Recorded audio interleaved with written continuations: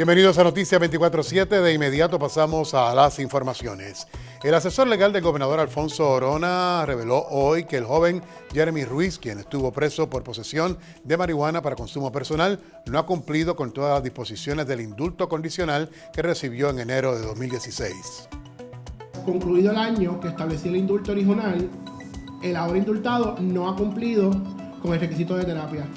A tenor con esto, y siguiendo la recomendación de la Junta de Libertad bajo palabra, el gobernador de Puerto Rico ha decidido modificar el indulto de Jeremy Ruiz Tomasini, otorgándole un periodo de nueve meses adicionales para que el indultado pueda cumplir con el requisito y terminar las terapias.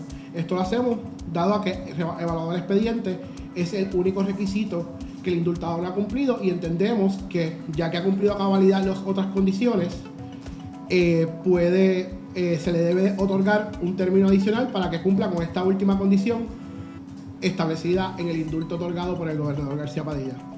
Mientras la designada secretaria de Educación, Julia Kelleher, compareció hoy a las vistas de evaluación que lleva a cabo el Senado antes de su ratificación a ese puesto. En su ponencia, la titular del Departamento de Educación dijo que trabajará para mejorar la comunicación interna del departamento, así como reforzar la educación bilingüe, mejorar la estructura de algunas escuelas y fortalecer la educación elemental y la superior de la isla. De otro lado, el Colegio de Médicos Cirujanos de Puerto Rico y la Coalición de Proveedores de Salud denunciaron hoy un plan por parte de la compañía de seguro Advantage, mediante el cual pretenden cobrarle a los médicos cualquier déficit que las aseguradoras tengan en las reservas anuales que éstas establezcan para el pago de servicios no facturados.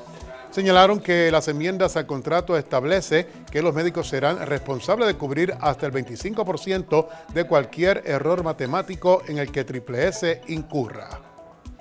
Yo soy responsable de su pérdida, no de sus ganancias, porque fijaron el fee del 16, sabiendo que van a tener un aumento en el 18 con el aumento en el, en el Gypsy, pero yo soy solidariamente responsable de sus pérdidas, no de sus ganancias.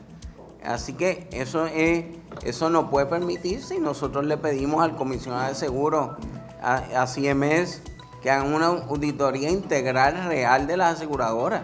Nosotros vemos en la oficina del comisionado de seguros las ganancias millonarias que tienen y eso es con los estados contables hechos a su favor para que no se vean tantas como las que son.